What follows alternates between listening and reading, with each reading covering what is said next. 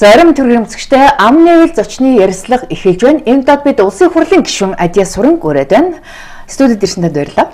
Баярлалаа танд.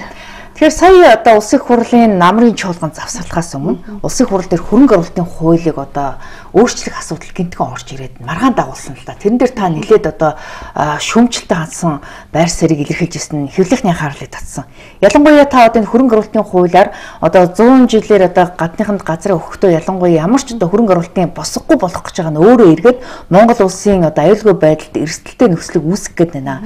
Тэр дунд Палестин улсын түүхийг одоо Монгол улсад автах гээд байгаа юм биш үзээ гэсэн ийм болгоомжлыг хийж ирсэн. Тэгэхээр танд яг энэ талаарх одоо хангалттай их сурвалжийн мэдээлэл байсан гэсэн үг үү? Байлг байх уу? Энд чинь бас мэдээж улсын хурлын гишүүнийхээ хувьд одоо тодорхой хуулиуд дээр ажиллах хэрэгтэй. Бид нар хуулиа унших хэрэгтэй, судлах хэрэгтэй. Мэдээж бас үндэсний аюулгүй байдалд, үндэсний эрх ашигт харш ийм хууль орж ирэхэд бол бид нар Монгол хүнийхээ хувьд нэг талан зогсоох хэрэгтэй гэж би боддог. За энэ хөрөнгө оруулалтын хуулиар зөндөл ярьлаа та тий. Тэгтээ бас ингээд өөрийнхөө байр суурийг илэрхийлэхэд тэр нөгөө Палестины жишээг авсан байгаа. Тэгвэл би өөрөө бас нэг түүхэн багш үнэлтэй. Үүзэ. Тий. А гэхдээ гол юм нь энэ хөрөнгө оруулалтын хууль гэж халахвчилсан нэрээр маш олон ноцтой ноцтой ийм хуулийн хулгайнууд явагдах оролдлого бол гарсан байгаа. За үүнийг зөвхөн одоо энэ газрыг 100 жилээр ашиглах таач биш. Тэ? Одоо 100 мянган долларын босгыг авахтаач биш. Ер нь зөндөө л олон ноцтой хамгийн гол ноцтой зүйл гэх юм бол хөрөнгө оруулалтын одоо 93 оноос хойших энэ хууль маань одоо дандаа одоо энэ 93 оноос хойш энэ хөрөнгө оруулалтын хууль маань явсан шүү дээ. А гэтэл 2013 оны хуулийг одоо л хүчин төгөлдөр мөрдөгч байгаа хуулийг ингээд харьцуулаад аваад үзэх юм бол 6 дугаар бүлэг ор тас байхгүй болсон. За Энэ нь ямар учиртай байсан бэ гэхээр ерөөсөө үндэсний аюулгүй байдал тусгаар тогтнолын тухай асуудал. Аа гадаадын төрийн өмчөд компаниудын зохицуулалтын асуудлыг одоо зохицуулж исэн 6 дугаар бүлэг бол энэ хөрөнгө оруулалтын хуулиас алга болсон байна. А энэ дээр 6 дугаар бүлэг дээр ямар чухал заалт байсан бэ гэхдээ зэрэг гадаадын хөрөнгө оруулалттай төрийн өмчит компаниуд Монгол улсад үйл ажиллагаа явуулах юм бол гэд тухайлаад бүр гурван салбарыг заасан байгаа. Харилцаа холбооны салбар, хэвлэл мэдээллийн салбар, уул уурхайн салбарт төрийн өмчит компаниуд үйл ажиллагаа явуулахаар бол 33-аас дээш хувийг одоо төрийн өмчит компаниуд эзэмших тохиолдолд Монголын төрөөс зөвшөөрөлт авах. Аа ийм хуулийн одоо энэ хэсэг нь алга болчихсон. Аа тэгээд мэдээж энэ дээр нэгдүгээрт нь одоо хөрөнгөний босгохгүй. Үнэхээр хөрөнгө оруулалтын хууль гэчихэд босгохгүй хууль. Аа. За мөн хөрөнгө оруулалтын хууль гэсэн мөртөөсөө цаагаараа бас газрыг гадаад иргэдэд 100 жилээр эзэмшүүлэх ийм тухай хуулиуд. Тэгээ ярих юм бол магтаад ярих юм бол маш олон ноцтой ноцтой заалтууд бол байсан. Тэгэхээр гişүнэ тэр 6 дугаар бүлгийн алга усныг би анзаарах байхгүй. Ганцхан тэр одоо 100 сая долларын босыг аваа ичих юм бол нөгөө нэг 100 жилээр гадныханд одоо газар эзэмшүүлэх асуудал чинь бүр ингээд ам ороод бид нар одоо ингээд 100 жилээр газраа галчих юм бол магадгүй нүүбийн тэр 80 жилийн одоо юу гэдэг штэ босго гэдэг штэ 80 жил одоо тэр газраа оршин суусан бол тухайн газрын одоо үндсэн оршин суугч гэж үзнэ гэдэг заасан байдаг шин. Тэгэхээр тэр асуудал ингээ үүсчихвэ гэж би болгоомжлоод байсан. Мэдээж одоо намайг нэг хэсэг цөмжилжсэн л та. Ардчилсан намын гишүүн бэж хөрөнгө оруулалтын хуулийг эсэргүүцлээ гэж. Аа. Тэгээ хөрөнгө оруулалтын хуулийг хөрөнгө оруулахыг эсэргүүцээд байгаа юм биш. Монголд хөрөнгө оруулалт усаагаар шиг хэрэгтэй байгаа. Гэхдээ бид нар чи үндэсний аюулгүй байдлаа тусгаар тогтнолынхаа асуудлыг одоо нэг хууль баригчдын тий хууль тогтоогчдын хүрээнд энэ гарч байгаа хууль болгон үндэсний аюулгүй байдлын концепт нийцэх ёстой. Тийм шүү дээ. Тэгэхээр одоо өөрөө хоёул ингэ бодоод үзье л та. Төрийн өмчт компаниуд ямар үйл ажиллагаа явуулах юм? Ер нь төрийн өмчт компаниуд бол ашигын төлөө гэхээсээ илүү улс төрийн зорилгоор тэрийн зорилгоор тухайн улсынхаа одоо төрийн үйл ажиллагааг тухайн улсад үйл ажиллагаа явуулах гэж орж ирж байгаа шүү. Бодлогоо тулгах ч юм уу ямар нэгэн байдлаар ашиг сонирхол нь одоо мөнгө олохтой биш. Мөнгө олохтой тийм үү. Тухайн улсад ямар ашигтай байх вэ гэдэг тийм холын бодлого бариад байдаг тийм үү. Тийм учраас л яг энэ заалтаар үндсэн хуулийн зэт бас өгсөн байгаа. Өө за. Тий. Үндсэн хуулийн зэт бас хандсан шүү дээ. Үнэхээр эн чинь хоёр дахь удаага бас дахиж хилэлцэгдэж гээд бас ингээ бид нар үнэхээр энэ дээр таслан зогсоохгүй бол болохгүй гээд одоо Монгол улсын 5 дахь ерөнхийлөгч Батулга бас одоо их хурлын дарагт шаардлага хөргүүлсэн. Шаардлага хөргүүлээд тахад энэ хууль хэлэлцэгдсэн. Тэгээд их хурлын одоо яг ингээд тарах болцсон байсан. Намрын чуулган завсарлахгүй болчихсон үед дахиад орох хамгийн сүүлд одоо 3 дахь удаагийн хилцүүлэг болох үед нь үндсэн хуулийн цэцэд бол өгсөн байгаа. Энэ нь болохоор Монгол улсад батлагдж байгаа бүх хууль үндэсний аюулгүй байдал тусгаар тогтнолынхоо энэ концепттэй нийлж явах ёстой. Энэ одоо үндсэн хуулийнхаа заалтаа нийцэж явах ёстой. Одоо энэ хууль гарснаар нэг 18 хуулинд өөрчлөлт орж байгаа. Дагалдах хуулиудад. Гэтэл тэр дагалдах нэг хуулийн дээр энэ үндэсний аюулгүй байдал тусгаар тогтнолын хамгаалах үзэл санаа бол ороогүй байсан. Тэгэхээр улсын хурлын нэр бүхий гишүүд одоо тухайлбал эрх хөрш намын тэр засгийн газрын сайд нар дотор ч гэсэн энэ хөрөнгө оруулалтын хуулийг эсэргүүцсэн гишүүд бол орж ирээд бас нэлээд тантай адилхан байр суурийг илэрхийлж ирсэн л та. Тэгэхээр засгийн газар дотор энэ асуудал дээр бас эсрэг тесрэг байр суурьтай байсан анхаарал татсан. Тэгсэн бэлээ яг дараа нь бас ингээд дотроо ингээд ярьж байгаа засгийн газар дээр ерөнхий цайд өөр өгсөн юм шиг байлээ. Засгийн газар дээр энэ асуудлаа цэгцэлж ээж улсын их хурл руу оруулах шаардлагатай гэж өөрөг өгсөн гэж. Тэгэхэд яагаад яаран сандар энэ хуулийг оруулах болов? Ямар эрх ашиг, ямар сонирхол байгаа юм? Тийм байгааз? Тийм байна тий. Үнэхээр ингээд үнэхээр за газар өгөхгүй бол хөрөнгө оруулалт оруулахгүй гэдэг байгаа гадаад иргэнэгч байхгүй шүү дээ. Харин энэ хөрөнгө оруулалтын хуулийг хуулийнх нь орчинг одоо аюулгүй болгооч. Хуулийнх нь орчингийн заалтуудаа өөрчилж өгөөч. Монгол улсын эрх ашигт нийцсэн байдлаар оруулж ирээч л гэсэн тийм шаардлага бол нь ерөнхий сайдын зүгээс тавьсан гэж ойлгоод байгаа шүү дээ. Тэгээд тэр нь яг засагдаагүй хэвээрээ орж ирсэн байна гэж даваа сурын сайд шүмжлэдсэн л да тийм. Даваа сурын сайдын ярианаас бол тодорхой харж болно. Тий. Тэгээд Бүтэн Монгол гэдэг хөтөлбөрийг үүсгэсэн, үүсгэн байгуулсан. Тэгээд Бүтэн Монгол хөтөлбөрийг Тэгвэл тухайн үед нөгөө бас санаж байгаа бол өмнө говийн газар нутаг бас ингээд зарагдсан байна гэд өөртөө сонслоор бас нэг ил болоод тийм ээ. Тэгэхэд өмнө говийн залуусаас бас нэм санаачлаг гарсан байхгүй юу. Энэ газар нутгаа тоолё. Газар нутгийнхаа бүрэн бүтэн байдлыг бас ингээд анхаарал тавиач гэж надад маш их саналууд ирсэн. Тэгээ бас үүн дээр бас Монголын ард очилсан холбоо нь ахан бас ингээд дэм өгөөд бид нар 10 21 аймгаар ингээд явсан. Газар нутгийнхаа бүрэн бүтэн байдлыг шалгасан. А тэн дээр үнэхээр бас сэтгэл имзэглүүлмэр юм маш их үйд. Зүгээр яг уу нэг сумын газарт л гээд бараг л тал хувийн одоо гадаадын хөрөнгө оруулалттай компаниуд эзэмшсэн байна. Тэгээ тэр нь зүгээр нэг сумын засаг даргын гар үсгэр ингээд олгцсон байна гэдэг асуудал яригдсан шүү дээ. Тэгэхээр тэрнээс илүү одоо ингээд бусад аймагуудад бас маш олон одоо лицензүүд яг тийм байдлаар олгогдсон байх магадaltaй байна. Тийм маш их. Ер нь бол тэгээд ингээл иргэдтэй уулзалт хийгээл явж хахад одоо бид нар хэний газар нутаг дээр малан бэлчээгээд явж байгаагаа бид нар мэдэхгүй байна. За. Тэр байтугай нэг эмэгтэй босоод хэлж байгаа нэг үнэний ферм ажилладаг гинэ. Дорногов аймагт. За. Тэгээд э, яг замын үүдэд үнэний ферм ажиллаулаад ингээ өөрийн гэсэн юм газар аваад худгаа бариад тэгсэн чинь гинт худгийг нэг өдөр гадаадын хөрөнгө оруулалттай компани мэдлэлт байгаа гэдэг. Тэр эмэгтэй одоо 4 жил шүүгдчих та газар авч чадаагүй. Зүгээр тэр хүн гадны одоо компани мэдлэлтэй газар гэж мдээгүй л одоо худаг гаргацсан байж тээ өөрийнхөө нутаг дээр. өөрийнх нь өөрийнх нь газар дээр өөр газар өгсөн байгаа байхгүй өө давхардуулаад тэр өөрийнх нь одоо эзэмшлийн одоо албан ёсны гэрчлэгээтэй газар дээр нь гадаадын компани гадаадын компани давхардуулаад өгсөн. Тэр байтугай өөрийнх нь ингээд үнэнийх нь фермэнд байж байгаа. За худаг нь байж байгаа. Өөрийнх нь газрын гэрчлэгээ байж байгаа. Байж байгаа тий. Үгүй ээж ямар юу юм бэ тий. Тэгээд одоо яг үнийг хэлэхэд саяхан хүртэл ингээд олон нийтийн шүлжигээр л явж исэн. Одоо хятад иргэд Монгол иргэдийн хөөгөл газар дээр исэн. Тэг энэ одоо дорнотод гэлтэхэд үнийг хэлэхэд явж хахад хон тууцсан хятад иргэд зөндөө явж таарлдаж штэ.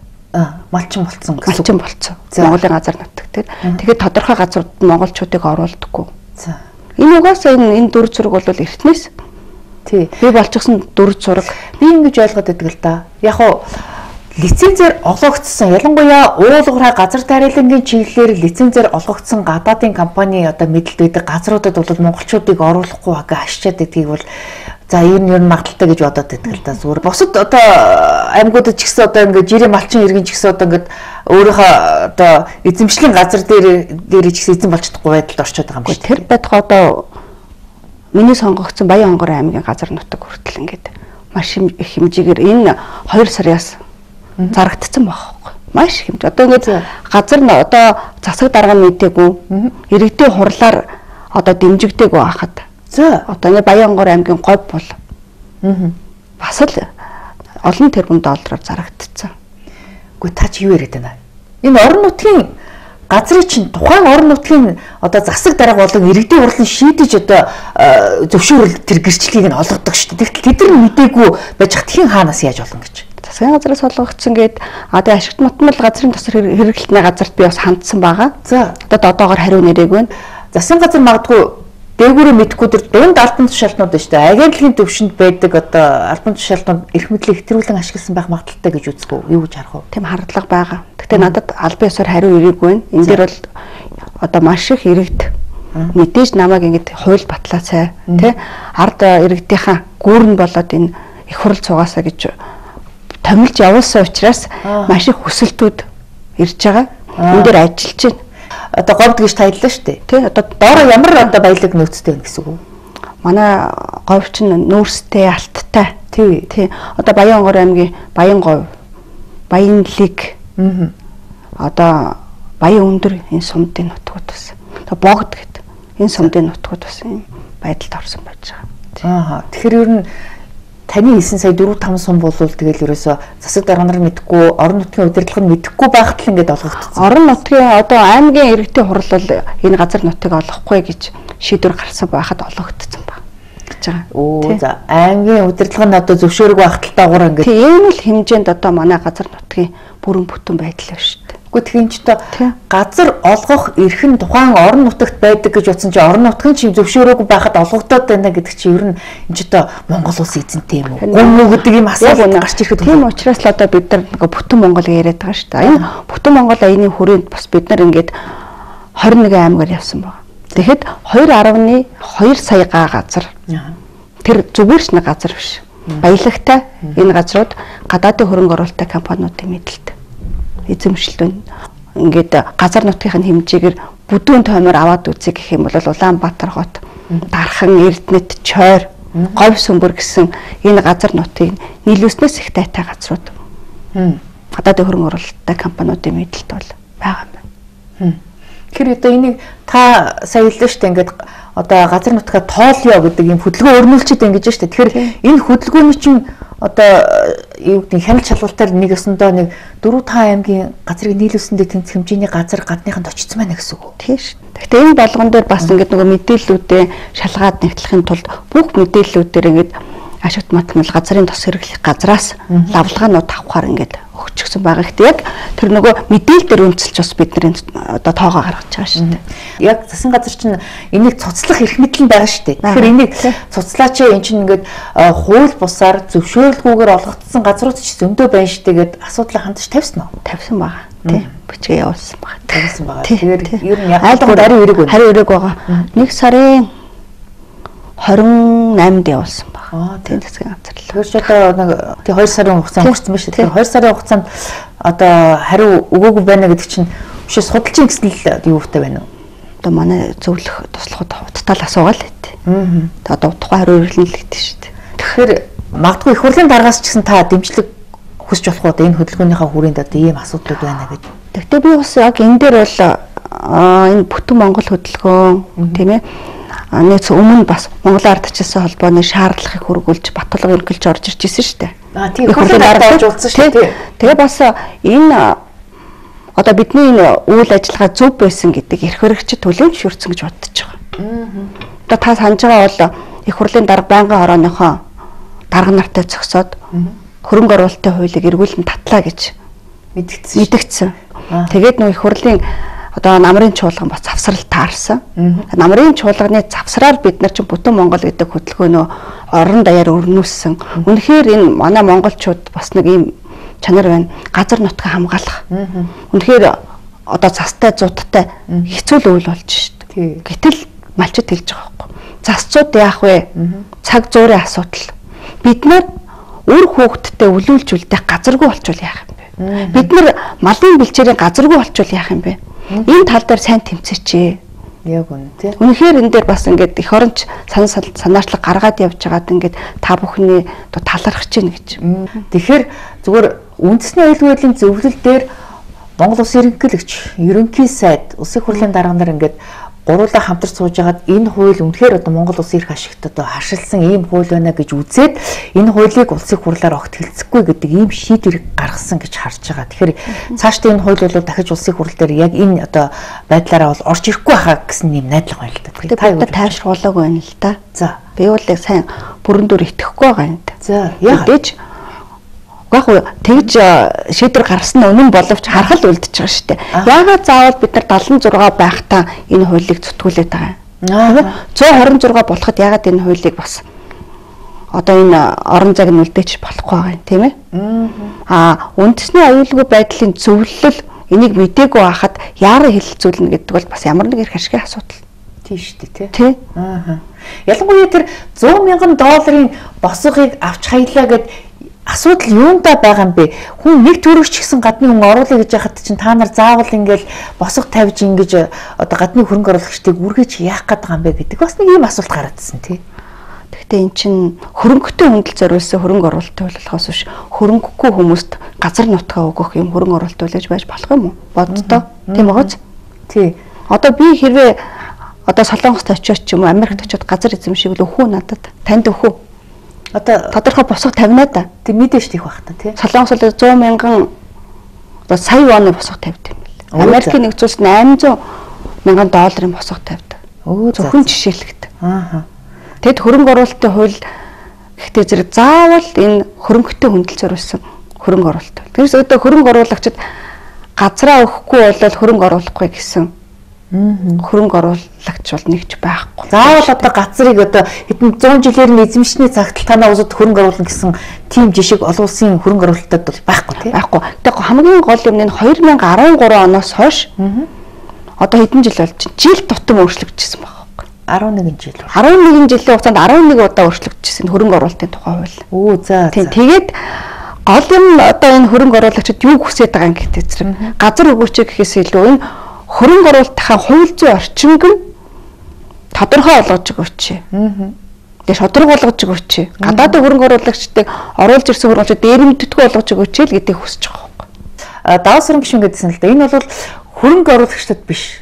Гадны одоо ядуу цагаач зориулсан хууль болох гээд байна гэсэн асуудал. Тэр бол угаасаа ойлгомжтой л байгаа. Аа. Гадны цагаачтаар Монголын дүүр газар нутгийг нийцлэх.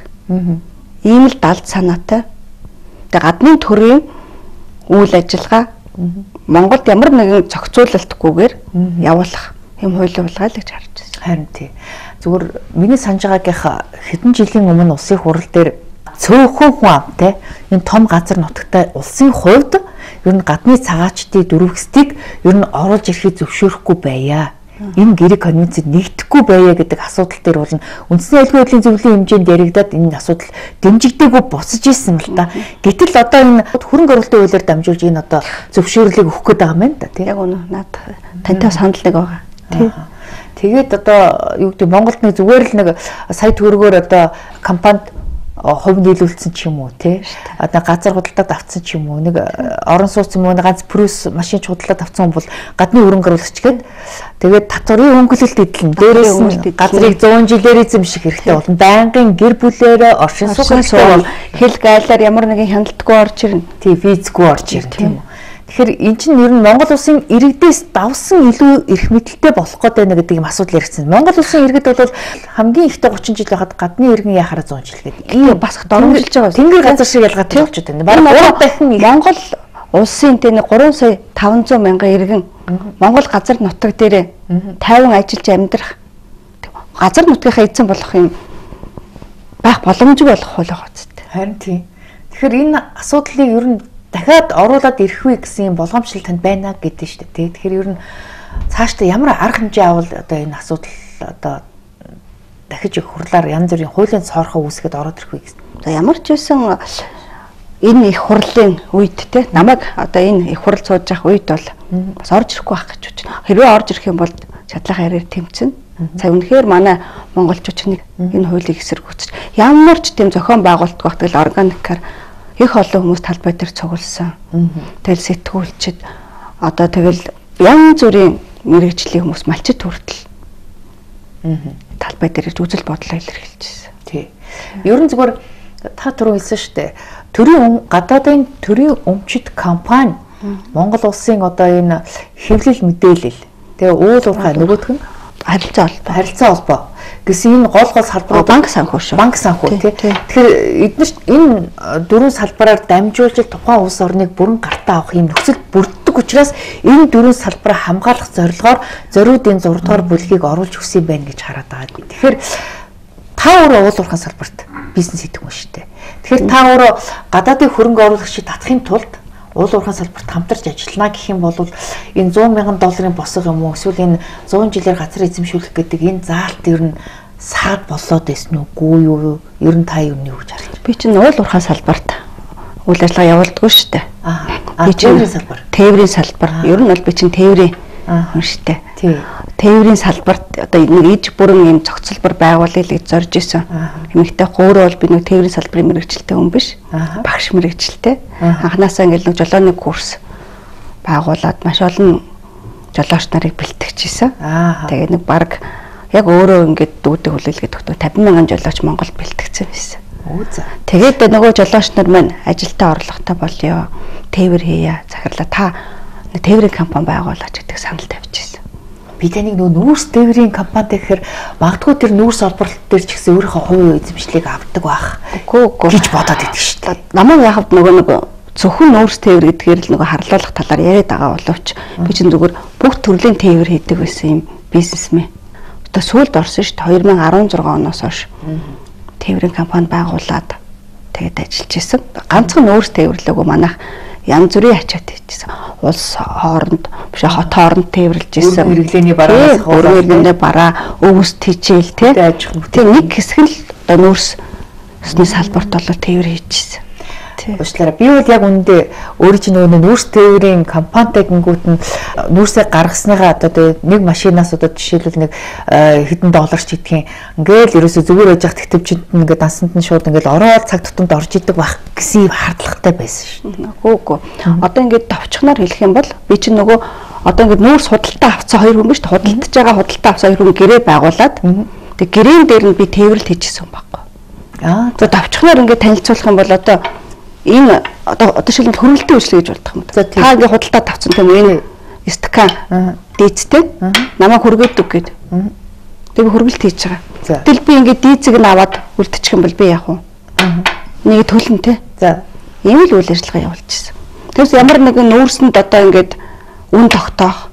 За. Хувь авах. Тийм боломжтой юм биш үү? Биш байхгүй юу? Аа. Тэгэл тээвэр хийжсэн. Аа. Тэгэхээр энэ ковидын үед тээврийн одоо үйлчлэгээний зардал огцон өссөн шүү дээ. 3 4 дахин өсөөд энэ хэрээр бас ингээд одоо тэр нүүрс тээврийн асуудал дээр бас ингээд үнний хөөрөгцөн дундаас нь завчаа үүссэн гэдэг юм асуудал гарсан л да. Бараг 20 дахин километр газарт 1 тонн нүүрсийг 400 доллараар тээвэрлжсэн гэдэг асуудал байсан. Тэгэхээр танай компани тэгж тээвэрлсэн үгүй юу? Ковидын үеэр чинь би их хурлын гишүүн болцсон байсан. Одоо тэг их хурлын гишүүнийхээ одоо ажил үүргийн хуваараар ямар нэгэн хувийн бизнест оролцохгүй, оролцоогүй. Би ерөөсө 2019 оноос хойш тээврийн салбарт болоод ямар нэгэн хувийн үйл ажиллагаа явуулаагүй. Их хурлынхаа гишүүний ажлыг хийгээл. Тэр та гишүүн болохоос өмнө энэ тээврийн компани шилжүүлээд зарцсан байсан гэсэн үг. Хоёр гишүүн болоод 20 оны сонгуульд өрсөлдсөн шүү дээ. 20 оны 7 сард Тэврхэн компаниг шилжүүлсэн байна. Хааш. Ах хамаатан садандаа юу ихчтэй өгсөн. Ихчтэй өгсөн. А тэгтээ яг ихчтэй өгсөн ч гэсэн тэр чинь гэр бүлийн орлого гэдэг утгаараа та өөрийнхөө хувийг авдаг бол баг. Тэгээ ер нь ингээд сонгуульд нэр твсэн цагаас өсвөлд миний тээврийн бизнес зогссон. За яагаад зогссон? Бүр мөс зогссон. Харин ч улам цэцгэлдэг юм билээ шүү дээ. Гişүүд ингээд өөрийнх нь найз нөхдийнх нь компаниуд улам ингээд гişүүн сайд олонгууд л улам цэцгэлэл ямар нэгэн байдлаар төрийн тендерт ингээд нохон гэрлэр ороод ингээд бүр жидүү мэдүү гэж янз бүрийн хэмжээл авцсан байдаг шүү дээ. Одоо нэгдүгээр би өөрөө бас бизнес хүн ч гэсэн бас надад нэг суртан юмш байдаг л та. Хоёрдугаарт нь бас ингээд чинь сөрөг хүчний гişүү. Аа ямар нэгэн тендер ямар нэгэн одоо тийм илүү ямар ч нэгэн тийм боломж одоо одоо хүртэл хүртээг байгаа хүртээгүй тэр байтугай тээврийнхаа бизнесийг хаалгасан. Өө Одоо миний тээвэр явахгүй байгаа. Нэг ч надад нөөц тээврийн машин байхгүй. Харин одоо хүнийг ингэж нэг харлуулдаг, күтгдэг тий 2019 онд би сонгуульд нэр дэвших. Та холбогдуулж одоо намайг маш их хэмжээгээр шалгасан. Одоо бизнес эрхэлж ирсэн хүнээс юу гарах вэ? Зээлэл гарч байгаа шин. Уучлаарай би жоохон итгэхгүй л байна л да. Та түрүү нэг ч нүүрсний машингүй хэлчихлээ. Тэгтэл ягаад таны нүүрсний сонсгол дээр ичнэ машин нүүрс одоо хааш нь яаж гаргасан гэл асуугаал таны ч холбогдуулаад э, хууль хяналтын байгууллага хүртэл шалгаад исэн тий. Тэ? Би хэлсэн дээ. Та нар хулгайчаа буруу газараас хайгаад байна. За. Үнэхээр намайг хулгайч гэж байгаа юм болдвол Монголын тээвэрчд бүгд хулгайч болж байгаа. За. Тэр гавыгийн сонсгол дээр хэлсэн үг би татсан шүү дээ. Үнэхээр тэр 40 их 80-аар явдаад байгаа нүүртний чи хулгай хайччихваа. Аа. Тэр 400 тендер чи хайччихваа. 300 гэрээ чи хайччихваа За. гэж хэлж ирсэн шүү дээ. Хулгайчаа та нар буруу газараас хайгаад байна. Аа. Тэр нь коммунистуудын нэг арга барил л та. Заавал нэг өөрсдөн дотроос нь ямар нэгэн хэрэг илрэнгүүт хин нэг нэг ингээ адилтгадаг. Хулгайч бол адилхан хулгайч байна. Ардчилсан намд ч хулгайч байна. Ардын намд ч хулгайч байна. Та зүгээр ингээд нэг зүгээр ингээд эмгтэй өнгөд утгаар ч юм та нэг бодоод үз. Би одоо ер нь 1996 оноос хойш ер нь усад бол за багшиж гисэн. Их сургууль багшилж гисэн. Дараа нь тэгээд 99 оноос хойш бизнес салбарт орсон. Өө за. Тэгээд бизнесийн салбарт орсноос хойш нэг ч тендерт ялж нэг тендер авч үзээгүй ямар нэгэн зээл тусламж тийм ямар нэгэн хөнгөлөлттэй зээл авч байгаагүй яг л бор зүрхээрээ ингээд ажиллаад явж исэн бизнес эмэгтэй 2019 онд сонгуул төвших болж эхлэнгүүт маш их шалгалт маш их дарамт ирж ирсэн. Тэр нь юутай холбоотой юм гэхээр би түрүү хэлээд байгаа нэг зээлийн гэрээтэй холбоотой асуудал ит. За. Та чинь зээл аваагүй гэсэн юм зээлийн гэр гараа. Зээлийн гэрээ. Аа, Би хүнд одоо мөнгө зээл зээсэн тухайл асууд би гэжтэй одоо миний ихч За. одоо хамт ажиллаж исэн хүн маань Аа. одоо эхнэр минь би муудлаа. Мгм. Гадаад руу ингээд дэмжлэгээд явах шаардлага харлаа. Мөнгө зээлээч гэж. За. Тухайн үед нь би Баянгор аймагт явж исэн. Мгм. Тэгээд тухайн үе одоо манай компани дээр ихч маань санхүүгийн асуудал хариуцж исэн. За энэ хүн зээлийн гэрээ хийгээд мөнгө зээлчихгүй юу да гэж хэлээд мөнгө зээлсэн би тий. Тэгээ тэр зээлийн маань гэрээний асуудлыг зээлийн гэрээний асуудлыг нүүрстэй холбоод нүүрснээ булгаачулж намайг ингээ харлуулж байгаа. Тэр нь одоо хэдэн төгрөг юм? Ямар ч одоо тийм холбоо 100 мянган доллар. Өөх. Тэгээ манай өөрийн гараар танд байцтай 100 сая доллар э, зээлүүлнэ гэдэг маш их итгэлээ. Харин би одоо бодоод байгаа би чинь нөгөө бизнес хийж хүнд их итгэдэг. За. Итгэмхий үйж За. Мөнгө зээлүүлсэн. Одоо бол би тэгэд энэ зээлийн гэрээ маань ингээд нүүрсний хэрэг болтлоо ингэж ашиглагдана гэж би зүудлээчгүй явсан. Тэгэд нөгөө зээл авсан хүмүүс маань би аваад ингээд эхнэрээ эмчлүүлсэн юм а гэд гэрч ууж гарч ирсэн гэсэн үг үү? Одоо тэрнийг би сайн мэдэхгүй байна. Одоо тэр одоо мөрдөн байцаалтын нууц үйлгүй бодвол тэр хүн юу гэж тайлбарласан, юу гэж хийсэн бэ Тэр хүн мэдээж дуудагдаад үний юм уу гэдэл асуус асуусан л болж таа. асуусан бах л та. А тэгээд одоо би бодоод байгаа ш. Би муу санаатай байсан бол сонгуулийн жил хүнд хүнээр дамжуулж зээл ерөөсө өгөхгүй байсан юм бэл. Гэрээ байгуулаад энэ үү? Тий. Одоо би бол одоо энэ жил бол хинт ч мөнгө өгөхгүй гэж бодчих ш. Юу за за хаширсан болж Хашир ш та. Ус төрч болчлоо. Хөрлийн гишүүн боллоо. Сүүлийн 2 жил авилгатай тэнцэг газраас ахуулаад нэлээд олон хуулийн байгууллага таныг дуудаж шалгасан л баг тийм үү прокуророос ахуулаад бүх одоо гэрчлэх баримт факт нь танд үзүүлэх юм бол байсан учраас таныг өнөөдөр улсын хурлын гишүүний бүр эрхтэй үлдэхэд тань одоо нөлөөлсөн гэсэн үг үү? Гоо тэгэлгүй яхав тэ эн чинь хэдийгээр ус төрж байгаа ч гэсэн. Аа. тийм ус төржиж байгаа ч гэсэн энэ хууль хяналтын байгууллагт чинь бас нэг шудраг хүмүүс байдаг байл хөтэй. А мэдээж миний нутгийнх нь намайг мэднэ. Хинээс ямар гаралтай, ямар юу хийдгүү тий Тэр байтугай миний нутгийн нэг 300 гаруй жил ортой надад би ажил ажлын байртай болгоод би ажиллаж ирсэн. Ингээд их хурлын гишүүн болчоод за энэ юу нэгэд ингээд дуусчих чагаан багтаа гэж бодсон чинь өргөншлүүлээл нүүрсний хэрэгт одоо нүүрснээ булгаач гэж зарлчихж байгаа байхгүй. Харин Тэгээ би бодож ирсэн л да за ингээ үнээр явбал өхөр тэргээр туулаа гүйтсэн. Одоо миний ингээд нүүрс сулгайлаад ингээд ахын цаашийн. Гэхдээ нүүрс гэдэг чинь ингээд нэг кармалаад гараа авчдаг юм биш шүү дээ. Тоон тооноор нь. Тий. Тэгээ том машин. Үнэхээр 8 жил одоо бүх шатанд ардын нам засагласан. Сүүлийн 8 жилд. Гэтэл нэг ардчилсан намын нэг бизнес эмэгтэй тэн дээр ингээл нэг тоон тооноор нь нүүр сулгаалаад тэр уурхай хяналтыг яах. Мэргэжлийн хяналтыг яах. Хил гайл тагнуул Гэтэл чи Монгол улсын төр ажиллаж байгаа шүү дээ. Тэгэхээр жирийн нэг ингэ тээвчтэй хийгээд ах бас хулгай биш л дээ. Тэгэхээр магадгүй энэ зүгээр хууль хяналтын байгууллага энэ үүсний компаниуд ингээ бүгдээрээ ингээ хэлийн чанддах одоо тэр цаана байгаа компанитай ингээ хувилдаад бас нэг юм асуудал үүссэн байх вэ гэсэн юм хардлага байна. Тэгэд энэ хоёр сайд хэлсэн шүү дээ. Нөгөө нэг хятадын тал Монголын талаас хятадын тал руу гарсан нүүрсэн тоонжин таарч байна. Үзөө таарч нэг хэлсэн байгаа шүү дээ. Тэгэхээр одоо нүүрсний хулгай энэ 40 их 80 тэгэл бас нүүрсний сонслоор асууж л байсан. 40 их 80-аа тайлбарл те. Гэлтэхэд бас тайлбарууд өгөгдсөн үү та бас мэдчихэл байгаа. Тэгээд гол юм нь бүх хяналт бүх төрийнхөө бүх төвшөнд ардын нам засаглаж байгаа. Тэгэл нэг ардчилсан намын нэг эмэгтэй ингээд нэг тоон тооноор нүүрс сулгаалцсан байхад би намайг ингээд зүгээр явуулаад ах уу Харин ер нь хэцүүлтэй. Одоо чи ер нь нам дамсан бүлэглэлгээд бас нэг юм би болцсон байх магадaltaг. Би бас таныг бас ардын намынхантай ч бас найз байх магадaltaй гэж хардчих. Тэгтээ хүн хэмжээний хувьд найз байлгүй яг хөө. Тэр нэг хулгай их хэмжээнд бас найзлаад авахгүй дээ.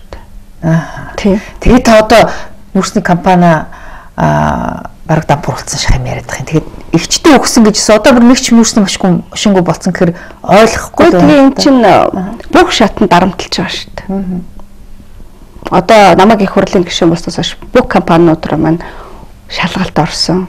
Бүх тал дарамт өссөн. Яг ясам дээр ялгаагүй л нэг ингэдэг нэг бизнес эрхлэгч юм ихтэй. Бизнесийг дарамтгүй болгоё. Төрд очиж үгээ хэлээ. Энэ байдлыг засъя. Бас эмэгтэйчүүдийн төлөөллийг ингээд төрд оруулж ирээ. Яагаад би болохгүй гэж. гэж удаад ороод ирэхэд бас нэг эрх хэрэгчд бүхэл тадаадаа дарамтлж байгааг нэг хэлбэр чи энэ аахгүй.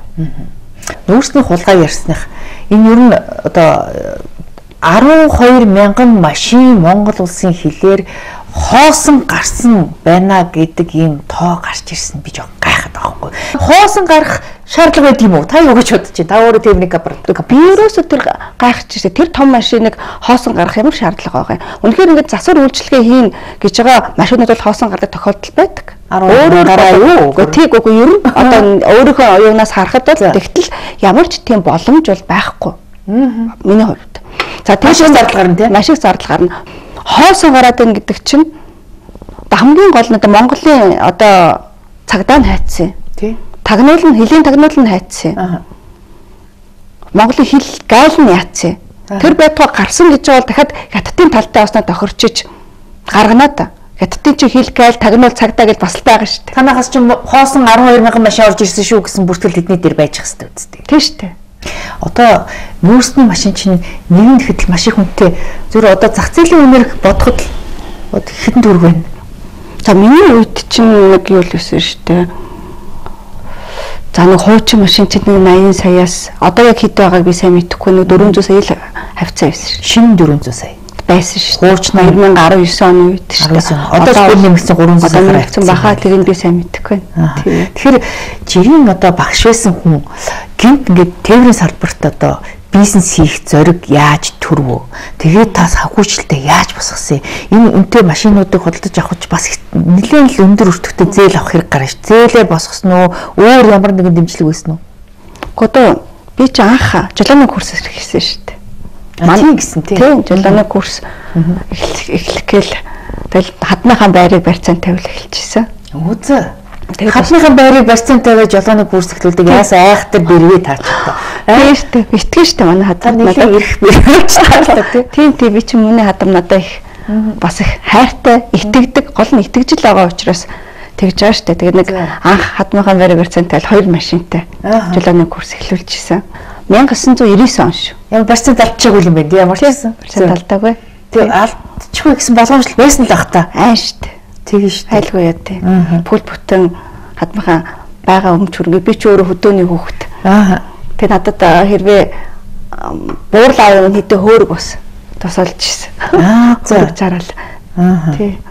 Тэгээд яг жолооны курс олон жил ажилласан ч гэсэн бас ингээл За тэгэл нэг э, орлого зарлагаа зохицуулаад арай хийж л одоо тэр үргэлжлүүлэл явдаг ш. Нэг огцом орлого олох хэцүү ш. Тэгээд энэ татварын дарамттай юм орчинд бол. Гог яг хөтлөмийн курс чинь бас нэг өөр менежментээр ингээд зохион байгуулж ирсэн л да. Би чи одоо ингээд 21 аймгийн 13-т нь салбартай хөдөө орон нутаггүй салбартай гурван газар өөрийн байртай.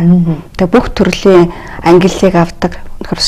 Өдөр шөнөгөл хөдөө явдаг. Ер нь бол машиныхаа кабинд л ингээд одоо сумаас сумын хооронд аймагаас аймгийн хооронд ингэж явж исэн бас нэг худлаа ярьж байгаагүй. Хэлсэндээ хүрж исэн хин нэгэн хүний яг одоо ингэж жолооных нь үнэлэхийг гаргаж өгөхгүй байгаагүй. Их хөдөлмөрлсөн дөө. Тэгээд жолооны хойно курсын суурин дээр мэрэгжил сургалт үйлдвэрлэлийн төв байгуулж исэн тэгээд бас нөгөө тээврийн компани байгуулах маань бас түүхтэй байхгүй юу? Манай баян хонгорын бас нэг 10 хэдэн жолооч бүгд машинтайгаа ирээд анх тээврийн компани байгуулж исэн А өөртөөхөө машинтай ирээд эхлээд өөртөөхөө машинтай ирээд тийм тэгээд дараа нь бизнесмен аваа гайгүй анх чинь би ганц мод хашуун сухач чинь нэг их олон жил явуулаагүй шүү дээ. Ханги мандлын бомбт тэр ханги ханги мандлагддаг бомбт тэр би үйл ажиллагаа явуулж ирсэн. Аа за. Хүмүүс нэг очидггүй.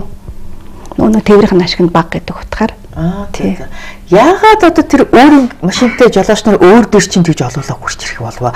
Нөгөө нэг жолооны курс төгссөн хүмүүс тань тантай эргээ холбогдсон гэсэн үг үү? Жолооны курс төгссөн хүмүүсээс гадна жолооны багш нар маань тэр нөгөө салбарлаа орсон байсан. Аа зарим нэг салбарлаа орсон. Тэг зарим нэгэнд нь би бас тусалж исэн. Тэгээ бас зээл хөнгөлтэй зээл авахт нь урьдчилгаа мөнгө нөгдөг ч юм уу те. Тэгжсэн. Тэгэл нөгөөдүүл маань бас надад санал тавиад. Тэгээ нэг тээврийн компани босгож ирсэн.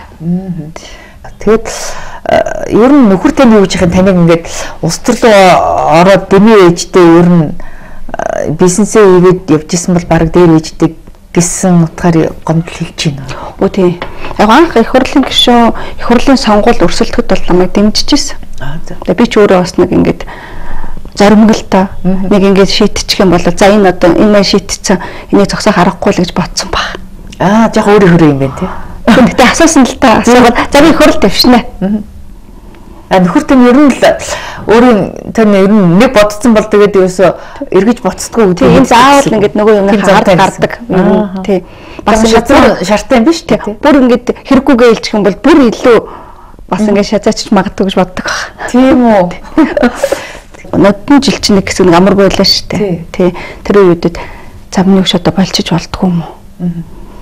Ийм хил амтай юм руу гэж зорин зорин ингэж зүтгэсэн юм бэ? Тэ одоо ингэ болчихоо дахиад битээ сонгуул монгол гэж яваарай. Энд чи өстой хэцүү юм байна. Хэлтэгчтэй би болох тэ зэрэг үгүй ээ. Тийм байхгүй. Одоо би бүх туулдаг юмудаа би туулцсан гэж үзэж байгаа шин. Маш их хэмжээний гүтгэлэг, маш их хэмжээний одоо энэ хил аман донд босч ирлээ надисрэн гэдэг хүн. Одоо тэгээд ингээ ухраад шантраад ах юм алга. Тэгэд одоо улс төрд орсон эмэгтэй хүмүүдээ янз бүрээр хэлүүлнэ шүү дээ. Тэгээд нэг зураг яваад байсан тэр одоо ямар учиртай юм бэ? Таны ч одоо бүр ингээд олоолаа шоудж байгаа нэг зураг байлуу яа би харчаад пэйж яасан э, сони юм бэ гэж бодож яхан гайхчихсан өөрөө чинь бол нэлээд шоуч юм уу гэж би хардахад хүрсэн шүү дээ. Өөтийн тэр зураг чинь одоо хэдэн оны зураг юм бэ? Нийгмийн шүлжээнээс л олж харсан шүү дээ. За та тань тийм зураг байдаг юм? Байхгүй шүү дээ тэр зураг чинь. За Тэгээ тэр зураг чинь 2017 8 оны зураг юм болов. За. Бид нар төрсөн өдөр тэмдэглээд найзууд. За. Суучаад тэр нэг нэг эмэгтэй байгаа. Аа. Тэр эмэгтэй хуцаар манай нөхрөө авсан зураг багхгүй юу? За. Тийм тэгээд танаа нөхөр тэр зургийг авсан болж таарч байна. Тэр хүний хуцаар ахгүй юу? Аа. Одоо тэр надтай хамт сууж байгаа. За. Нэг эмэгтэй. А гэтэл бас хөөрхий тэр нэг дунд нь сууж байгаа нэг залууг бас хятад болгоол ингэ яриад байдаг. Тэр залуу Монгол ихээс төрсэн Монгол аавтай Монгол залуу. Энэ залуу маань бас энэ зургаас болоод ажилгүй хүртэл болж ирсэн шүү. Тэгэл одоо гол юм нь би нөгөө улс төрч болцсон. Улс төрт ороод ирчихээр надаас болоод бас хүмүүс хохироод байд юм бэ гэж одоо бас их санаа зовд шүү дээ. Одоо тантай хамт зураг авахсан маань ажилгүй болсон. Ажилгүй болсон. Тэр зургаар ажилладаг гэсэн үе. Тэр замын цагдаад ажилладаг гэсэн залуу. Аа тэгээд замын цагдаагаас халагдчих юм уу? Халагдаад өө солон буураад одоо нэг ажилтай болсон юм шиг үлээ. Оо за за за. Тэгэхээр би гайхаад энэ зургнаас болоод гişүүний нөхөр нь их л бухимдж байгаа бах гэж тухайн үед бодоод өнгөрсөн. Тэгэхээр танаа нөхөр өөрөө авсан зураг учраас өөрөө авсан. Бид нар ч бас тэгэл тэр үед чинь би нөө тээврийн компани ажиллаж эмэгтэй дандаа ганцаараа яваад ах хэцүү шүү дээ. Хөвчлэн тэгэл нөхөртөө бол хамт явдаг байсан. Тий, удаагатаа явна. Тий. Таныг ингээд ус төрт орохоор таны нөхөр хүүхдэд ч гэсэн бас ингээд янз бүрээр шүүмжлүүлээд хилүүлээд ахаар хэцүү байсан бах. Аав ээжид тань бас ямар байсан бол? Мм, ээж маань одоо би бол өөрөө ингээд сурчиж байгаа шүү дээ. Уг нь их хурлын гишүүн болтлоо би ч одоо ээжийн сайн охин. Ээжийнхаа бас нэг ингээд ачаа хариулаа яваад байгаа гэж бодож исэн. А гэтэл их хурлын гишүүн болсноос хойш бүр ээжийг айгүйх санаагийн зовоож их жигээ ч гэсэн ойрго онолдог баг. Нөхөр ч гэсэн тэгэж их сайхан байдгүй гэж би боддог. Аль болохоор эднэр намайг санаагийн зовоочихгүй юмсан гэж бодоод хилдэхгүй байх. Одоо 22 оны 12 сард л өнөөсний улаа зарлагдсан шүү. Тэгэл тэгэхэд манай ээж ингээл 7 хоногийн дотор гів вид хэвтэрт ороод за би ингээл одоо хүртэл бас нэг жоохон имлэг байнгын ингээд юм хасраанд байдаг л да. Тэгэд яг яа сэтгэл санааны байдал нөлөөлсөн юм байна гэж бодлоо. Би бол тэгж л боддог. Аа. Одоо бөөрийн дутагдaltaл зөв зүгээрсэн юм шүү дээ. Тэгэл бөөрийн дутагдaltaд орсон. Тэгээд ээж нь ээжигээ аврах гэж та нэлээд бас зүтгэсэн үү. Тэг нэг хэсэг та нэг харагдахгүй байх шиг байсан. Байх хөтэ хүний хөвгт штэ чинь тий. Юу тэр яг ясам дээр яг тухайн үед бол хүн тэгж бодд юм бэл штэ. Ямар юмныхан тэр ямар хулгай хийцэн ч тий. Үннээрээ бол хүр тэргийг туулаг үтсэн байжлыг би ээжийг л босгох хэрэгтэй. Ээж минь надад үнэтэй байхгүй. Тэгэхээр манай Монголын эмнэлгүүд ер нь гайгүй сайн эмчнэр бол чадвартай ч гэсэн заримдаа хонод хөөрөмж орчин бас хэцүү байгаа асуудал үүдэг тий. Тийм тэгтээ ингээл яг тэгэл би чинь их хурлын гишүүнээ гээл тэгэл урдуур ингээл авчир дайраад байдаг шүү дээ. Яг л тэр нөхцөлд нь өөрөө бас хүмүүс их гоё ойлгож хүлээж авдаг. Тэгэл ямар дарамх юм бэ гэж ээжигээ аваад ингээл энэ цогч ин гэлдэгдэг. Одоо яах юм бүгд бүгд л авчирлал бүгд л амнаас тагаа ингээл тий тэмцэл ингэж явах үед нь би урд дуран дайраал ингээл надад тийм юу байхгүй. Зарим хүмүүс яг гişүүд ч юм уу сайд нар ер нь хөнгөтэй хүмүүс чинь аа шууд л гадагшаага эмчилгэнд аваа явд юм бэл ч дээ. Та авч явж үзсэн. Би авч явъя гэсэн ээжтэй. Ээж зөвшөөрөхгүй. Яагаад? Би энд би Монголын эмнэлэгт итгэж байна. Би явахгүй. Бас ихчээсээ бас зөвшөөрлөх хэвчээс ихч ээжээр хоёлоо. Тийм байхгүй би хоёр Монголд л тохойд бол хэцүү байсан л да Монголд бол эцсийн үцэг хэл. Тэгэл нэг хэсэг нодон 100 хүртэл нэлээ муу ээж гал харин сая 10 сараас хойш аваа гаагүй тэгэл ээж минь бас нэг хөл дээрээ босоол ингээл байж байгаа. Гэтэ ер нь өөрөө хилтгүүлдэ манай ээж чинь бас нэг тэгэл филдэг байхгүй юу. Тэгээ ийм мэдээлэл жоох ээж хол байхгүй юу та телевиз ороод энэ унтраачихгүй хэр манай ээж чинь тийм юм биш л дээ. Сууж байгаа юм чи. Та тэр өөр айлыг хэд төгтөө? Би айлыг хоёр хөвгт. Хоёр дахь. Тий. А дороо? Дороо хоёр ихтэй дүүтэй дээрээ хичтэй. Аа. Дөрвөлээ. Тэгэхээр ерөнхийдөө одоо ээж аав дүүн эгч дүүнстэй тусалдаг одоо гол зүтгүүр гэж ойлгож болох уу? Угаас айлын дунд хөөгтөч бүгдийг зохицуулдаг. Би ямар та би хэлдэг байхгүй.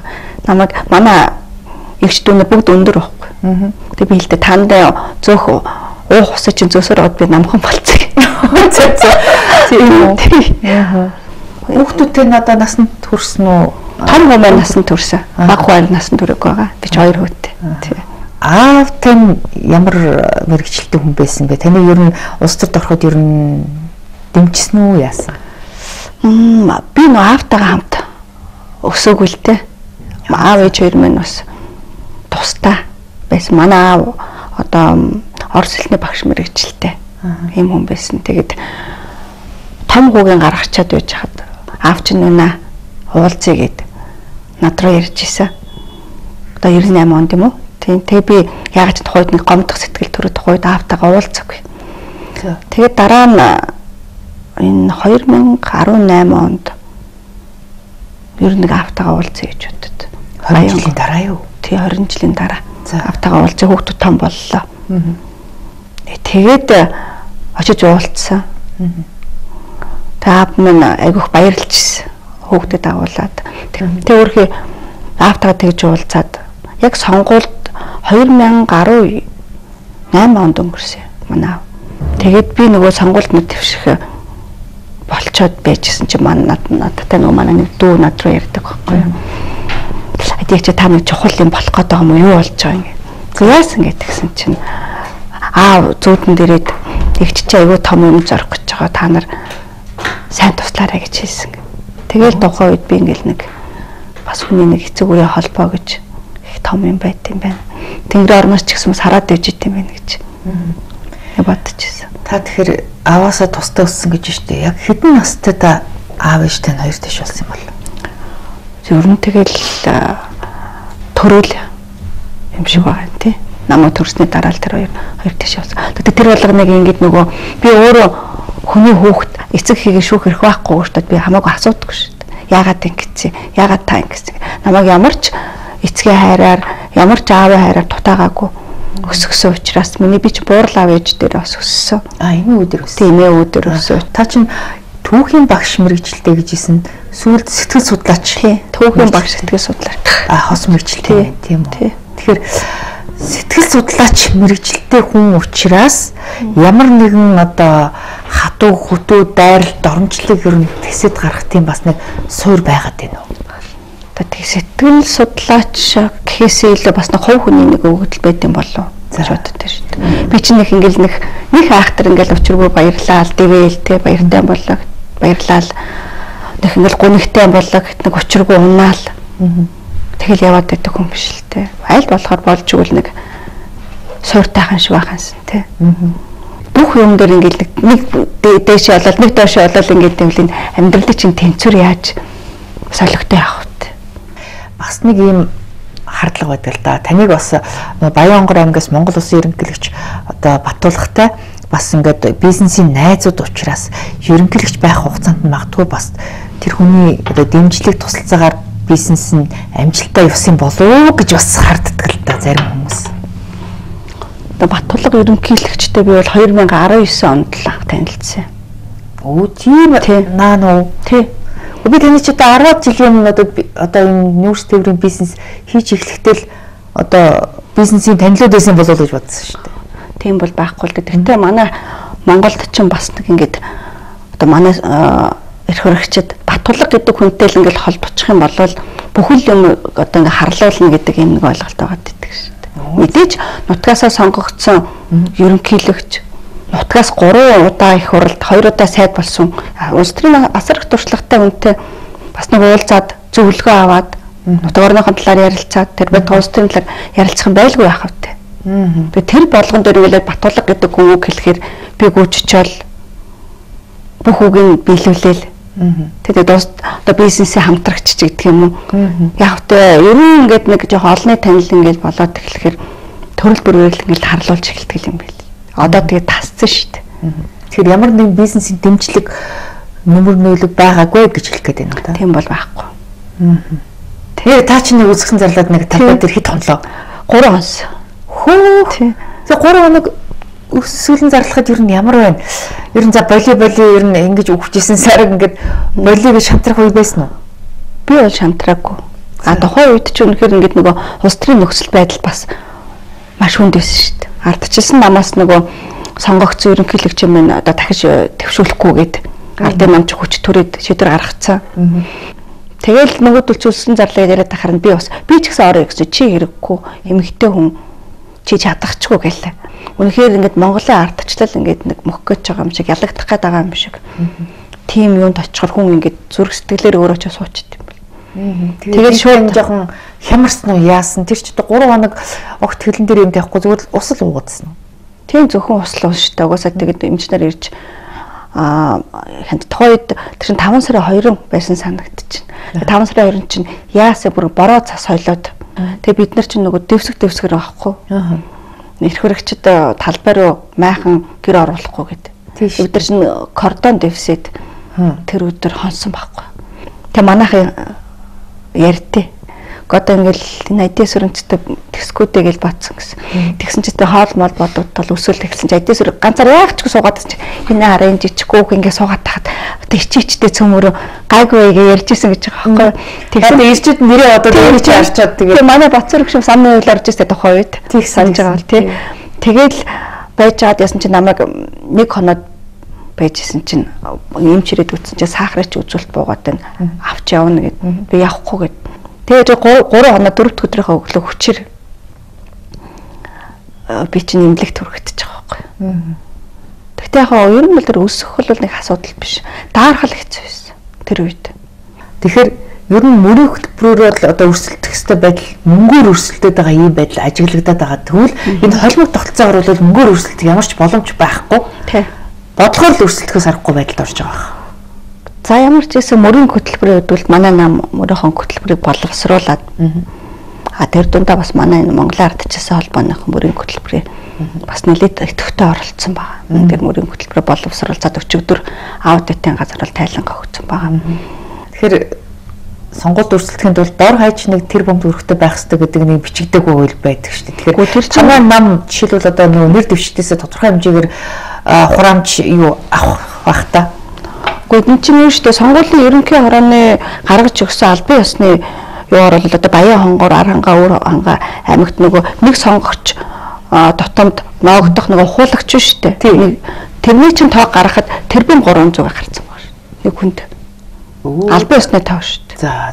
Тэгтээ зэрэг яг босод жижиг хүн амтай ч юм уу юунууд тойргууд 800-аас эхэлчихлээ. Тийм. Тэгэхээр албан ёсны дүн тийм болчоор энэ одоо энэ бүсчилсэн одоо энэ дээр би жоо эсрэг саналтай байсан л та. Уул нь одоо ингээд тойрог томсоод эн чинь мөнгөний хамаарлыг багасгах чинь гэж утсан чи танийгаар бол баг нөгөө шүү дээ чи сонгогч тутамд тийм үсттэй тэдэн сонгогч тэдэн ухуулагч гэж байгаа шүү дээ. Тий. Тэгээ ухуулагчийн тоогоор цалингаа өгтөө зэрэг чинь наадах чинь тийм биш болж таарж байгаа байхгүй. Тийм бэ. А тэгэхээр энэ томсгосон тойрог буюу бүсчилсэн одоо энэ холимог тогтолцоо шүү дээ тий. Холимог тогтолцоо маань яг үнэндээ болон залуучуудад эмэгтэйчүүдэд за тэгэд шинэ гарч ирж байгаа хүмүүст бол халтай халтай сонгуул. Тэгэхээр өөр хэлбэл эмэгтэйчүүд бие даагч нар бол маш өндөр босго давж иж их хурлд орох боломжтой болно гэсэн. Тийм маш өндөр босго давж наадах ч үн. Тэгэд яг манай нам энэ жил бол тэгж тэнчин авахгүй гэж зарлцсан байна. Оо за за. Тийм. Ингээд бидний ярилцах цаг ингээд дууссан байна гэж бидний урилгыг хүлээж авч дэлгэрэнгүй ярьслах гэснээр баярлалаа. Тэгэхээр энэ парламентод үлдсэн одоо 40 гаруй асуудал хилцэх юм байна. Тэгэхээр энэ хилцэж байгаа асуудал дээр танаа арчсан нь одоо цөрөг хүчний байр сууриас альва хуулийг одоо цоорхоогүй хийдэлгүй гаргахад бас хувь нэмрээ оруулаарай. Ингээд танд амжилт хүсье. За оруулаад яваад байгаа гэж бодож байгаа шүү. Баярлалаа. За баярлалаа. За манай удаагийн амны ярил зочны ярилцахаар улсын хурлын гишүүн Адиас уран оролцлоо. Анхаарлаа тавьсан үсгч таханд баярлалаа.